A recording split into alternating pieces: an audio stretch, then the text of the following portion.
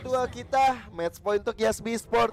Match Team Esport harus berjuang lebih keras lagi untuk bisa mengamankan satu poin kalau mereka nggak mau dikalahin 2-0 tapi pergerakan dari Team Esport sepertinya udah mulai mencoba untuk rusuh Aleva sudah datang Joey sudah hadir juga di arah Orange Buff coba untuk di charge begitu saja tapi memancing retribution bakal jadi harga yang mahal banget sih Yap. Apalagi ternyata power of nature dari seorang Grok juga belum berhasil mendapatkan rednya. Kali ini malah justru Groknya yang bakal mencoba untuk di zoning habis-habisan oleh seorang Joey. Datang juga Lizard mencoba untuk memberikan damage Aleva. Untung saja itu Grok. Nyawanya juga masih tebal, masih cukup sustain sehingga belum ada first blood yang terjadi di menit-menit pertama kita kali ini. Begitu pula dengan adanya di arah top lane. Kalau kita mengintip nampaknya Aran cukup apa ya struggle ya untuk melawan keberadaan dari seorang Dirat karena memang Esmeralda kan natural counter ya. ya. Natural counter dia adalah Dirat gitu. benar benar benar. Ya mau nggak mau harus bersabar di landing phase-nya. Biarkan dari minionnya maju-maju supaya ada space juga sih. Eh dari Suganya maju ya space untuk eh, teman-teman Yasbi juga bisa untuk melakukan ganking bagian atas. Tapi di bagian bawah Wizard sepertinya masih mencari momentum yang ter- terlebih dahulu karena dari Suncai masih terlalu jauh di area belakang cuman nih Ah, nonton bareng King of King season 9 bareng RRQ streamers teman-teman. Ada Kakak AB Kaskade. Wah, lagi live stream juga. Iya, jadi Halo. Kita sapa dulu yuk ya kan. Jadi bagi kalian yang pengen eh, kenal atau nonton dari streamer kita juga bisa banget tapi lihat ternyata kali dari seorang Suga mencoba untuk mendapatkan satu poin killnya dan berhasil untuk mendapatkan Ternyata satu first blood tapi langsung dibalaskan aja satu tower satu begitu pula di arah turtle-nya Joey kali ini mencoba untuk langsung mengamankan turtle tapi ternyata mengetahui keberadaan dari Aleva power of nature dan juga wall charge kali ini berhasil untuk menabrak arah seorang Joey kira-kira siapa yang mendapatkan masih di tangan seorang Pakuito Oke, reward manipulation sudah mulai dibuka di posisi yang tepat tebakan Joy. Harus bisa dipanis begitu saja oleh Mad Team Esports.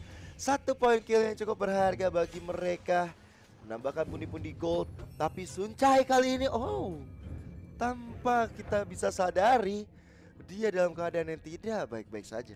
Yes, karena dia tidak baik-baik saja, sedangkan di sisi bottom lane kita bisa melihat adanya seorang Clean yang memilih untuk recall terlebih dahulu Tokyo masih mencoba untuk mengumpulkan buffnya untuk sementara waktu dan ini adalah replaynya di mana tadi seorang Dairat berhasil untuk ngelok ke arah Aran tapi langsung dibalaskan begitu saja ketika Is mendapatkan satu point kill. Jadi masih pertukarannya cukup adil satu tukar satu. Tapi kemudian Yasbi berhasil untuk mendapatkan ke arah Turtle. Itu mengapa kali ini dari Yasbi poinnya masih dari networknya leading sedikit ya walaupun Mad Team Esport menang dari segi point pick off. Ya, leadingnya lumayan jauh tapi sekarang bahkan yang digadang-gadang Aran bakal kesulitan tapi ternyata Sugai kesulitan. Karena lihat udah ada Knocker Strike dikeluarkan. Joey dalam ancaman. Ececen, bisa Strike. Ini dia pembalikan keadaan yang cukup baik dari Mad Team Esport Joey yang terlalu bernafsu menuju ke arah depan Ternyata tidak menyadari ada sosok Tokyo. Ececen mulai dibuka. Suga dalam ancaman. Falling Star Moon. Dan Suga reward manipulation on point. Tokyo kali ini mau ke mana? Seki gagal dan Tokyo masih coba untuk bertahan. Double kill dari Roundel. Membubarkan masa di bagian atas. Yes, dan bahkan lihat di arah bottom lane kali ini. Mencoba untuk mengambil semua gold shield yang ada dari seorang Suncai. Pakuito mencoba untuk menzoning, memanage kembali wave minionnya, tapi begitu pula dengan adanya Suncai yang nampaknya Suncai ini masih mencoba untuk ngambil ke arah gold shieldnya terus menerus dicicil sedikit demi sedikit dan mencoba untuk di mirroring aja. Kali ini di arah top lane di mana Suga cukup terkepung keberadaannya mencoba untuk mendapatkan poin pick off terhadap seorang Aran tapi circling eagle berapa ke arah seorang Suga Japi justru Alan Aran kali ini yang harus di take down Oke, reward manipulation udah copy oleh X Magic. Kali ini sudah ada Aleva juga di depan sana. Mencoba untuk memberikan penetrasi dengan Power of Nature ke arah minion-minion.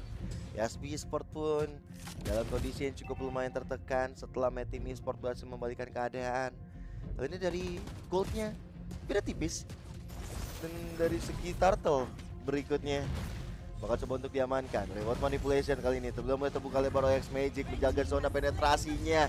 Didapatkan oleh Joy Chain udah mulai dibuka Joy dalam ancaman. Reward manipulation yang asli kali ini menghadirkan satu poin Rondel ke arah Aleva yang membuat teman-teman Yasmi Sport punya angin segar tapi ternyata oh ternyata again and again Aran harus tumbang untuk kali ketiga di tangan Suga.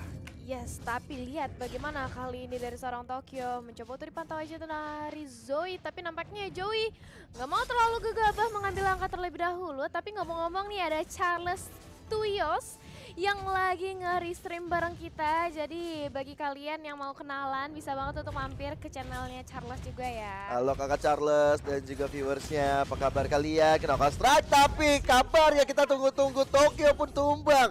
Kabar yang kurang bagus didapatkan oleh teman-teman Mad Team Esports setelah satu sosok jungler mereka yang ingin menghancurkan satu outer turret nggak berhasil malah harus tumbang. Kukira opportunity tapi ternyata bunuh diri. Wow. Tapi di arah bottom lane kita bakal mengintip sedikit di mana Lizard nampaknya cukup kewalahan untuk menghadapi Karasuncai. Daerah top lane mencoba untuk mendapatkan Karasuga. Nampaknya belum berhasil walaupun berkali-kali dari seorang Aran udah mencoba untuk di backup ya. Tapi ternyata portal satu kali 24 jam dari seorang Grok sudah berhasil untuk ditutup. Cycling Eagle dilontarkan. Kid Desmond coba untuk mempertahankan dirinya. Namun IMU sudah siap untuk mengeluarkan reward manipulation juga. Hmm, Suga sih sebenarnya yang bagus ya di setiap keadaan dia mulai tertekan dia tahu caranya untuk kabur dia tahu bagaimana caranya bisa untuk bertahan hidup Aran yang cukup kesulitan udah dibantu juga masih cukup berat untuk menghadapi sosok Dairot Polistar pun ke arah depan Aleva mencoba untuk mundur ke arah belakang. Tapi kompensasi adalah satu outer turret yang berhasil dilumpuhkan oleh anak-anak Team Esport Yap. bersama dengan daya turtle yang udah muncul. Team Esport kali ini mereka cukup untuk meliding dari segi networknya. Ditambah lagi mencoba untuk didapatkan ke arah Turtle oleh Yaspi. Apakah bakal dikontes aja? Apakah bakal di zoning dan bahkan diberikan Turtle dengan adanya apa ya cuma-cuma tanpa ada kontes sama sekali ini membuat Yasbi akhirnya berhasil untuk mengejar kembali ketertinggalan network mereka. Tapi hati-hati ke Desmond. Coba untuk dicicil oleh seorang Valentina nampaknya. Oke, kali ini dari HP Sport mereka ternyata di XP dan juga Gold Lane ini dibilang kalah.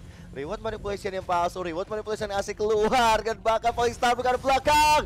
Tokyo yang gak bisa selamat tapi Aran kali ini juga bisa dipanis oleh anak-anak Mad Team Esport. Pertukarannya adalah Tokyo dan juga Aran. Tapi Joy melihat ada kesempatan yang emas di bagian atas bisa menghancurkan satu yang tertarik, knockout strike dan juga jabnya. Joy hampir saja menumbangkan sosok Sucai di garis belakang. Kali ini par, uh, dari Orange Buff ya mencoba untuk diambil oleh seorang Joey. Ini Yasbi Sport tadinya kewalahan loh. Tapi justru mereka bisa untuk ngebalikin tempo permainannya. Mad Team Esport kalau mereka kehilangan momentum ini bakal bahaya banget bagi mereka. Iya, tapi di bagian bawah juga kita ngelihat satu inner turret berhasil dilumpuhkan oleh anak-anak Team. Kali ini Aran coba untuk menjaga satu daerahnya di bagian bawah di portal oleh Aleva supaya anak-anak Yaspi nggak bisa sembarangan masuk. Kali ini reward manipulation udah di copy. Kita bakal lagi melihat IMU dan juga reward manipulation saling bekerja sama di bagian tengah seperti tadi. Ada yang asli, ada yang palsu. ada yang sudah ada Kolaborasi. Iya kolaborasi ya. Em, apa ya persat- pertemuan yang cukup apa ya membingungkan. Membingungkan. Ini yang asli mana, yang palsu mana. Tapi kalau yang asli itu ada warna ungunya. Iya betul. Dan ya balik lagi seperti tadi Gio udah mention ya kalau misalnya IMU reward manipulation bakal lebih sedikit dari segi stack ya. Jadi mungkin itu yang harus dipikirkan matang-matang oleh Meta Team Sports ketika melakukan reward manipulation mereka harus calculation banget terhadap apa ya damage yang bakal diberikan. Tapi Kid Desmond membuka melakukan fast check tapi ternyata harus melakukan circling eagle untuk bertahan diri tapi ternyata tidak bisa karena langsung jadi back off. Pula dengan adanya. Sugah dan bahkan Pak Kwito kali ini dua member dari Yasbi Sport berhasil dihilangkan. Mencoba untuk mendapatkan ke arah seorang Aran dari X Magic ya dan bahkan Lordnya kali ini mencoba untuk diamankan oleh teman-teman dari Mad Team Esport. Akankah berhasil untuk diamankan tanpa adanya aksi pencurian karena sudah tidak ada Joy? Ya, nggak ada Joey harusnya Tokyo bisa melenggang ke mana-mana. Itu Sword dikeluarkan tapi malah Tokyo yang hilang dan kali ini ada Factory Fight dirasakan oleh Lizard di baris depan sana. Falling Star Moon masih mencoba untuk mendapatkan Ice Magic bahkan Flicker terpaksa digunakan untuk bisa mundur ke arah belakang. Di reset ulang, di reset total untuk Yasbi dan juga Mad Team Esport. Oh tapi buat Katsuchai yang berminat sangat interest untuk menghilangkan Lizard yang harus ditumbangkan. Wow, wow, wow. Ternyata, oh ternyata Suncai terlalu overextend. Bahkan harus ditumbangkan oleh seorang Lizard dan lihat bagaimana kali ini dari Yasbi Sport mencoba untuk mengamankan kesempatannya untuk mendapatkan Lord kita yang pertama. Sudah ada yang menjaga di situ dari Aleva memberikan informasi terhadap teman-teman ya datang kali ini bala bantuan juga bakal melakukan kota terhadap Lordet tapi kali ini kita lihat bakal siapa yang mengambil Lordet terlebih dahulu. Reward Prohibition sudah di open dua bahkan. Tapi kali ini lihat bagaimana Aleva tiga orang dari main tim esports harus ditumbangkan dan bahkan double kill dari seorang Rondel. Rondel ini positioningnya luar biasa banget yang gak terpick off kalau kita tahu nih ya udah ada Dairot di sana, udah ada Berat, hero berat. yang bisa masuk ke belakang pagi Suncai juga. Cuma Rondel dia selalu memberikan aksi-aksi yang brilian banget untuk Yasbi Esport. Sedangkan kali ini Yasbi momentumnya udah mulai dipegang. Mereka coba untuk ngancurin ke arah satu base start di bagian tengahnya. Cuman Lord yang biasa aja kali ini sudah mulai berjalan di bagian atas. Mad Team Esport harus benar-benar berkonsentrasi untuk bisa mendefense area terakhir mereka. Yes, dan ada Fox Moba juga nih yang lagi nonton bareng Kings of Kings season 9 di RRQ Streamers kita. Jadi halo bagi viewers Hai. Moba, untuk kakaknya juga selamat bergabung di stream kita Hai. dan nontonin bareng kita. Tapi kita bakal melihat di menit kita yang ke-11 tampaknya base dari Mad Team Esport cukup terancam di mana base turretnya bakal mencoba untuk dirotokin semuanya. Taharat yang di tengah sudah berhasil dihilangkan. Lord masih bisa ditahan di arah top lane. Tapi lihat bagaimana kali ini dari Yasbi Esport nampaknya masih mencoba untuk tarik ulur sementara waktu disengage nggak mau terburu-buru. Memilih untuk ya udah kita main lebih sabar aja, mengamankan objektif yang ada terlebih dahulu. Benar, karena again mereka bisa dapetin ke arah base start di bagian tengah. Iya, Mas jadinya untung seribu untung dari Yasbi Sport dan mereka juga berhasil mendapatkan berarti yang namanya super minionnya di bagian tengahnya. itu dia. Bakal lebih jadi PR besar bagi tim Esport untuk bisa Mhm. bertahan. Kali ini nggak ada freeze minion, mereka memajukan semua cita-cita minion di bagian atas, tengah dan juga bawah.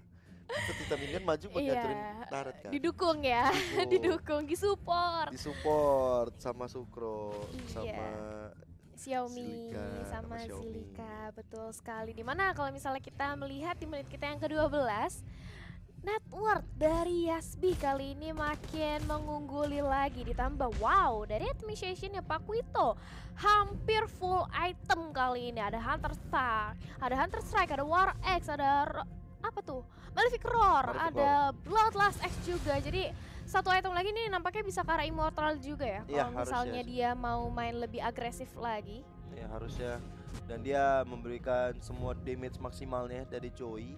Sedangkan yang menarik kalau misalnya kita melihat sosok dari sama-sama gold lane ya. Suncai ternyata udah jadi DHS dan juga udah jadi golden staff. Tapi dia harus benar-benar nge-respect terhadap adanya tiga magical damage dari Yasbi Esport. Mungkin Radiant Armor bisa menjadi jawabannya setelah ini. Betul sekali. Tapi ini aku mau ngomong-ngomong sama teman-teman yang lagi ada di live stream kita di Apa kolom tuh? komentar kita.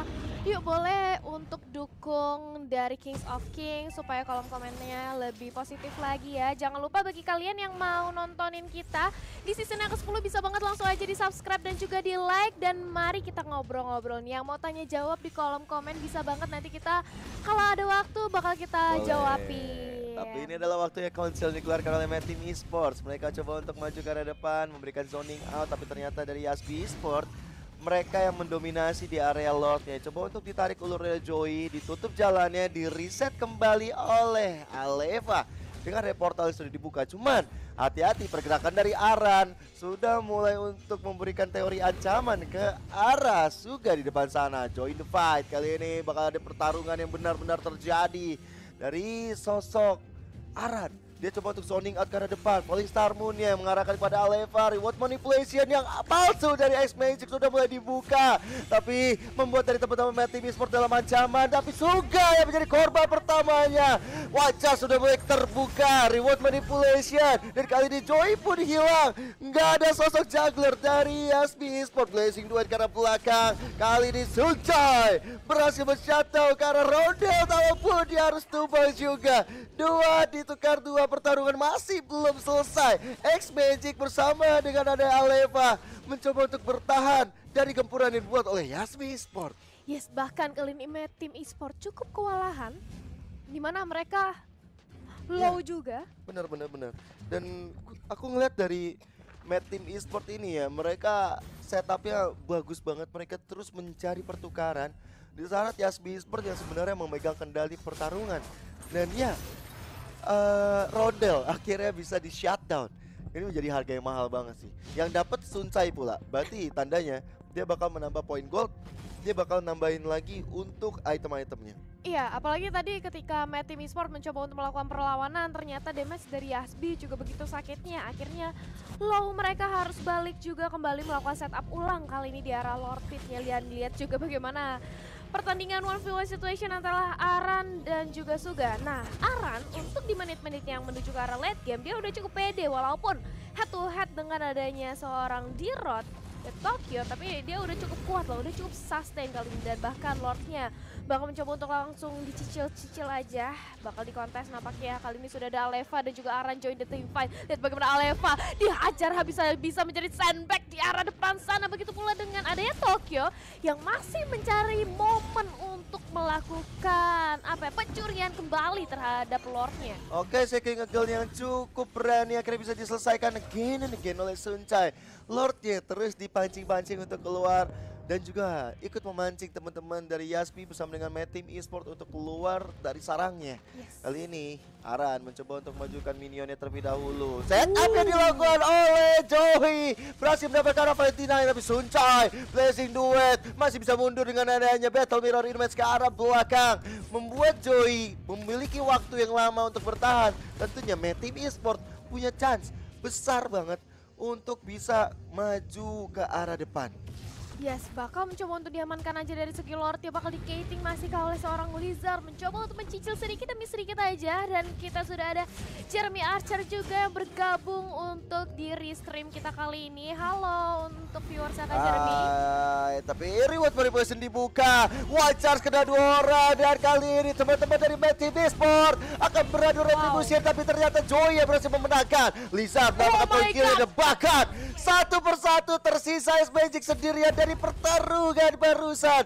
Damage macam apa itu? Yasmi Esport dengan meta penggarisnya bakal coba untuk menyelesaikan game yang kedua. Tapi nggak sampai di sana aja mereka ingin wipe out. X Magic dan Flicker mencoba untuk mundur.